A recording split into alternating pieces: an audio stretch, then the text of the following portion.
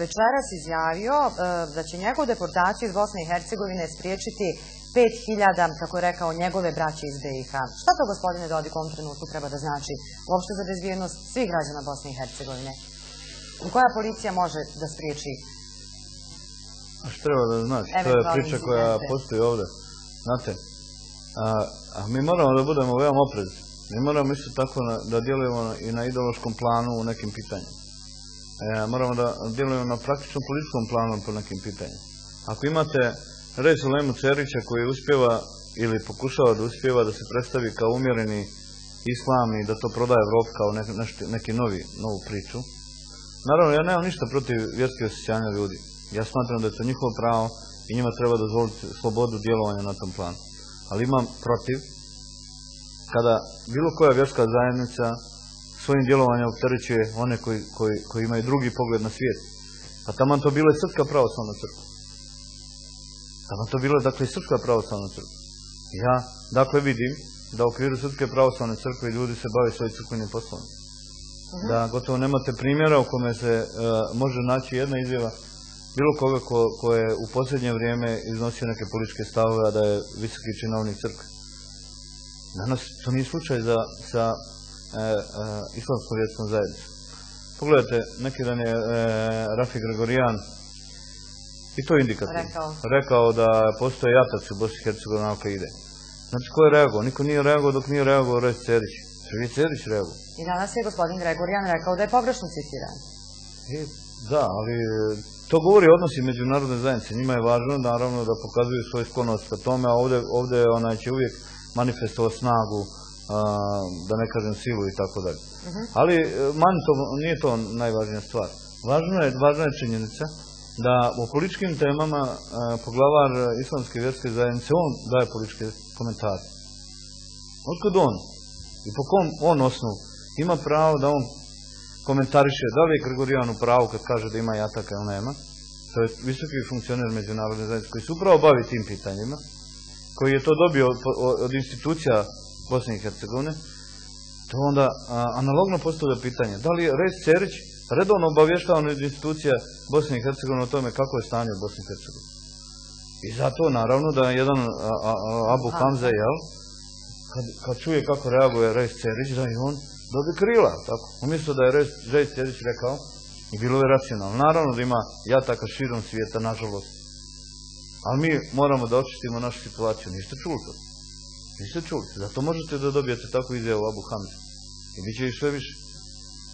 To, Nažalost, što se nas tiče, to, to, bez obzira kako će on reagirati. Ja znam da će opet to, ovo što ja govorim večeras biti analizirano, pa svašta nešto govori. Ja im tvrdim, ja se osjećam sigurnim i ljude ovdje koji žive ako imamo policiju. I nećemo je za to dati. Eto i zbog toga Abu Hamza.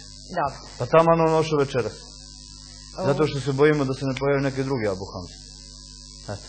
Gospodine Dodik, u ovom trenutku jasno je, a to potvrđuje i sam e, predsjedavajući savjeta ministara gospodin Nikola Špirić, da ove dvije reforme o kojima smo evo govorili, Ustava i reforme policije, trenutno i blokiraju sam rad savjeta ministara. E, kako vi ocjenjujete rad e, ove institucije Odlično. u kojoj su i same odluke za Republiku Srpsku bivale osporavane ili teško donošene? Odlično, pa šta?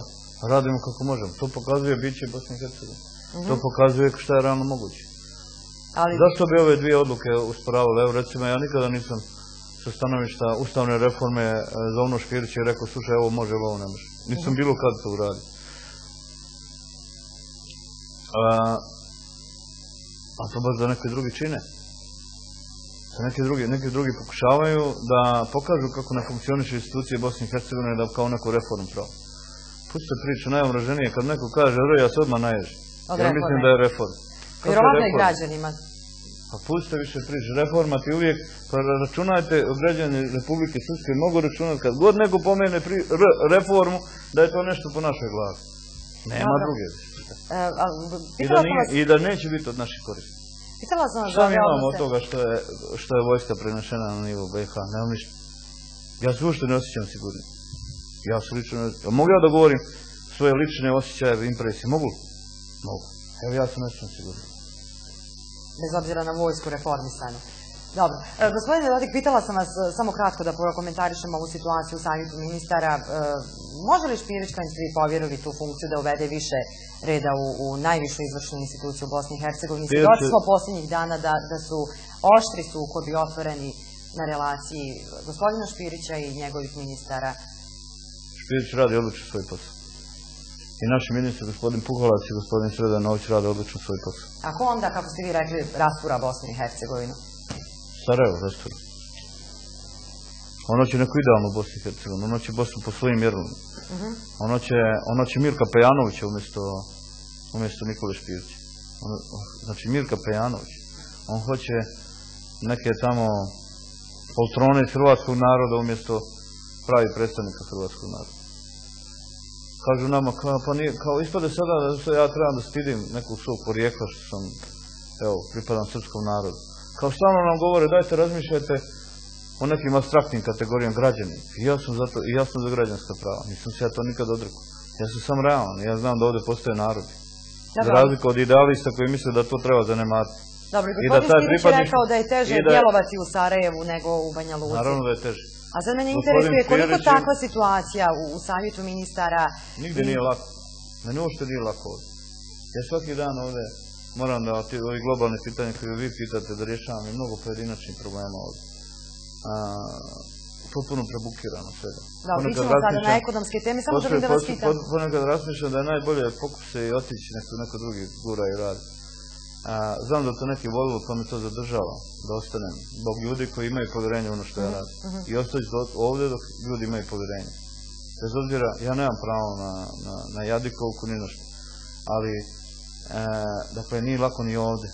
A pogotovo nije lako u Sarajevu praviti razne kompromise sa ljudima koji ne žele kompromis. On žele nadgornjavanje, on žele dominaciju.